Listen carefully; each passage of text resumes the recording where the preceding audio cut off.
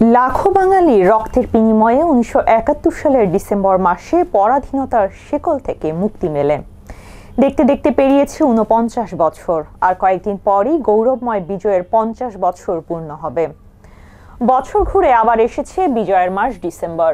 বাঙালির হৃদয়ে এ মাস আনন্দের ও গৌরবের। উনিশশো একাত্তর সালের ষোলো ডিসেম্বর চূড়ান্ত বিজয় অর্জিত হলেও স্বাধীন সূর্যোদয়ের ভিত্তি সূচিত হয়েছিল আরও আগেই।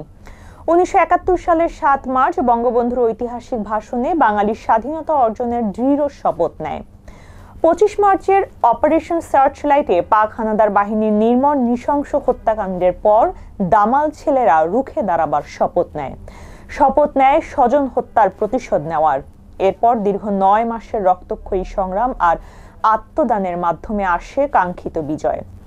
বাংলা ভাষার ভিত্তিতে যে জাতীয়তাবাদ গড়ে উঠেছিল রক্তক্ষয়ী যুদ্ধে বিজয়ের মাধ্যমে ঘোষিত স্বাধীনতা পূর্ণতা পায় ষোলো ডিসেম্বর।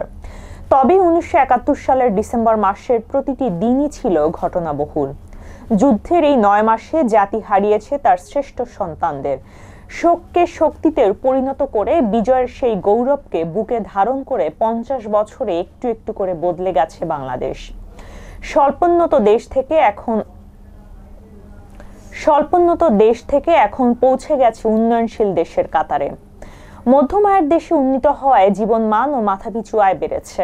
ক্ষুদা দারিদ্র ও দুর্নীতির চ্যালেঞ্জ মোকাবিলা করে তরুণ প্রজন্ম নতুন উদ্দীপনায় এগিয়ে নিয়ে যাচ্ছে দেশকে। তাদের হৃদয়ে রয়েছে দেশপ্রেম, গণতান্ত্রিক ও মুক্তিযুদ্ধের চেতনা। বিজয়ের পঞ্চাশ বছর উপলক্ষে পুরো ডিসেম্বর মাস সরকার, আওয়ামী লীগ সহ মুক্তিযুদ্ধের পক্ষের বিভিন্ন রাজনৈতিক দল ও দেশের মানুষ উদযাপন করবে। মুজিব বর্ষের মেয়াদ এই বছরের ষোলো ডিসেম্বর পর্যন্ত বাড়ানো হয়েছে। স্বাধীনতার সুবর্ণ জয়ন্তী এবং বঙ্গবন্ধুর জন্মশতবার্ষিকী এবার একসঙ্গে উদযাপন হচ্ছে। ষোলো ডিসেম্বর বিজয় দিবস উপলক্ষে রাজধানী সহ সারা দেশে বিজয় শোভাযাত্রা হবে। সারা দেশে বর্ণার্থ বিলবোর্ড ব্যানার ফেস্টুন টানানো হবে। ঢাকা জুড়ে থাকবে আলোকসজ্জা। সভা সেমিনার ও আলোচনা সভার আয়োজন করা হবে এই দিন।